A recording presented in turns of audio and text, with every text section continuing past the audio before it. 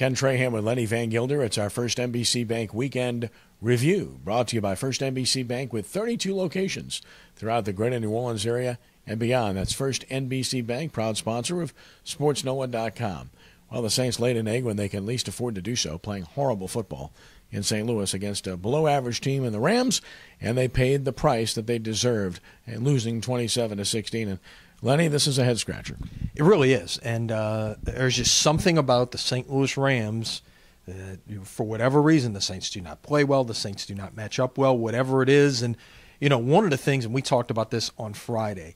They do a great job of getting to the quarterback with their front four, most notably uh, Quinn and Long, and so much so that you know Charles Brown found himself on the bench for most of the second half because he couldn't handle Quinn, and. Uh, you know, it's going to be interesting to see how that plays out going forward. Uh, the other thing we'll look to see what happens here in the next 48 hours is are we going to see an open tryout for kickers again after a deplorable performance by Garrett Hartley, getting a you know a, a relative chip shot blocked and another relative chip, chip shot that was a, an awful shank to the left.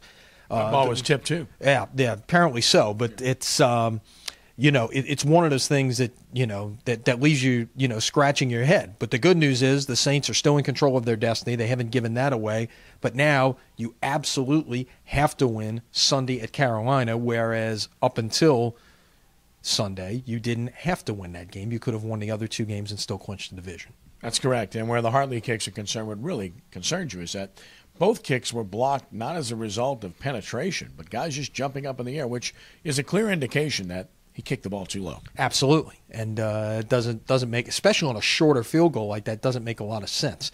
You know, if you're trying to kick a 55 yard field goal or something to that effect, then you can understand that. But one was, I believe, a, a 37 yarder, and the other was a 26 yarder. No excuse for it there. No, total blow up in this performance. Nothing good. They never touched Kellen Clemens the whole game. Zac Stacy rushed for 133 yards. Kicking game gave up an onside kick recovery. It was a total failure across the board, and now it's must win situation time against Carolina. And, of course, the New Orleans Pelicans started their five game road trip to the West Coast with a loss at Denver last night to a team that's in the middle of the pack but has some players and a place that's tough to win and clearly playing without Evans and Davis hurt. Yeah, absolutely. And it was one of those things where they hung around, hung around, but could never make a push to make it a you know one possession game. Denver just kind of kept their distance in the second half and. You know, when you go on the road, you need to be able to make that little push. But again, without two of your best players, that's going to be uh, that's going to be a challenge. Uh, tough swing here. Nothing's easy on the road, especially on the West Coast, and especially when you're playing some of the better teams in the West. Continues Tuesday night at Golden State. Yeah, two wins would be a really good trip.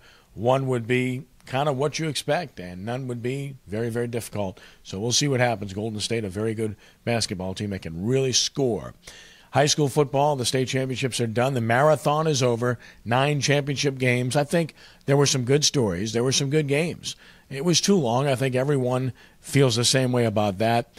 And ultimately, there's going to be some more change prior to next year. Yep, we'll see exactly what it is. Uh, it's going to play itself out. Uh, the next week. I, I, jokingly posted on Twitter the other day that uh, maybe there's going to be a, a, new division out there of just schools on the East Bank of Jefferson Parish after three of them won state championships. You know, so three of the three of the nine, one third of the championships are residing on the East Bank of Jefferson Parish with John Curtis, Archbishop Rummel, and East Jefferson. What a great story there! And congratulations to Nick Saltaformaggio and his entire group there for uh, pulling a second consecutive upset, at least on based on the seeds, if you will, uh, defeating Edna Karr in the finals. Yeah, you don't want to diminish the accomplishment accomplishments of J.T. Curtis 26 state championships, which is absolutely remarkable, or Jay Roth, who wins his second in a row at Rummel, but the story was definitely East Jefferson's win over a favorite Edna Karr team. Yeah, and uh, a great comeback to be able to do it. I mean, they were they were down and made a made a fourth quarter comeback, uh, scored the last 17 points of the game, and that was uh, that was huge. And some other great games as well. A, a, terrific story on Friday night with with Union Parish and everything that went b- behind the behind the scenes with that. Losing a player in the offseason who wore number 33 and they scored 33 points in the championship game. It was just a it was a was a was a fascinating storyline there. Maybe the best story of the weekend. Uh, although obviously in, in, these parts we're going to look closer at the teams from our area that won, but statewide that may have been the best story of the weekend. And last but not least, of course, we're now the week of the R+L Carriers. New Orleans boy. Last check, I think Tulane had sold 7,500 to 8,000 tickets. Any concern that we're not going to get to that crowd level we hope for? I think eventually they will get there. Here's the thing you got to consider in this: you got local fans who may be buying tickets not from Tulane and are going to are going to show up now.